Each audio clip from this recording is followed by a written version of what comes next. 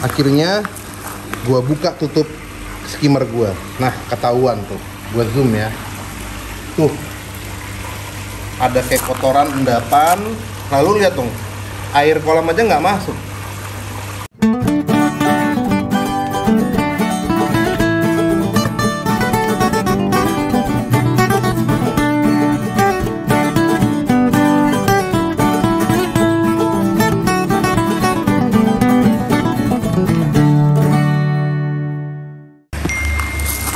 gue nemuin beberapa hari ini kolam koi gue ini ada gelembung-gelembung udara kotoran itu muter-muter di kolam aja. Logikanya kan gue punya skimmer. Itu tutupnya ya.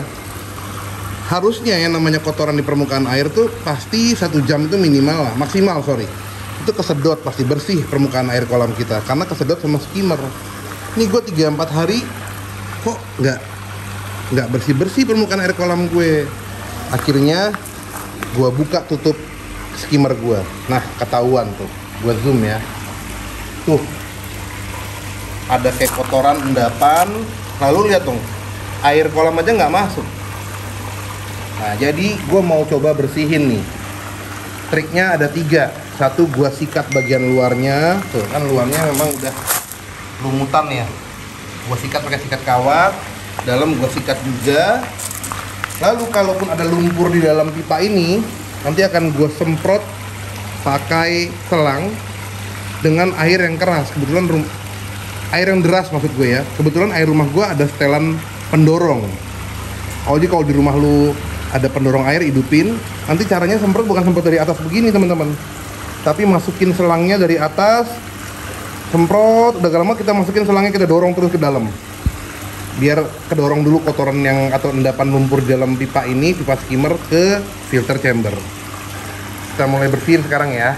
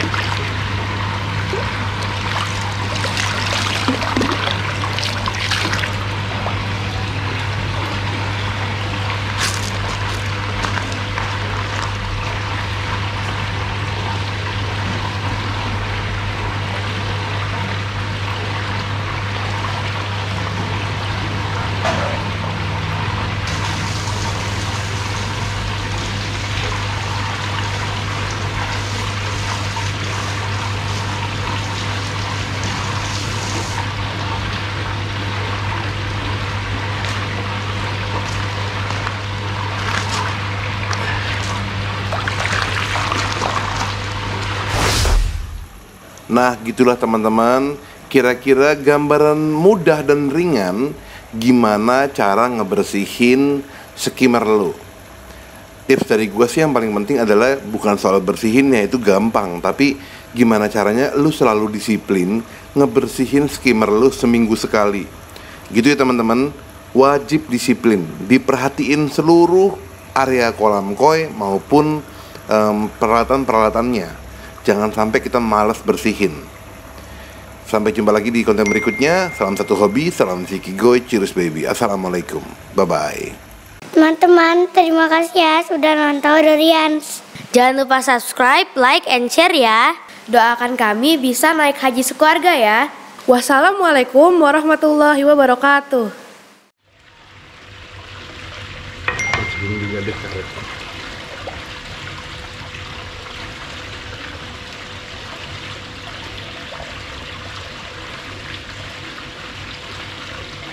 Salah satu penyakitnya air, uh, mesin aerator selain uh, filter kapasnya atau kapas filternya kotor itu juga ini teman-teman.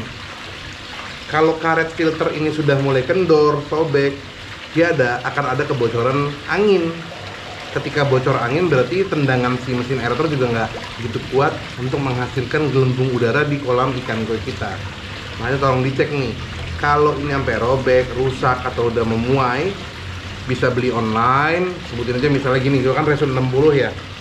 Tinggal cari aja nih di Tokopedia misalnya karet filter Resun LP 60 gitu. Atau kalau mau enak lagi lu carilah atau pesenlah lewat toko-toko ikan koi atau peralatan yang menjual ikan koi menjual peralatan ikan koi yang langganan lu